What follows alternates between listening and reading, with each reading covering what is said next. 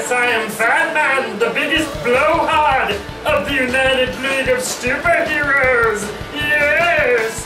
How about Henry?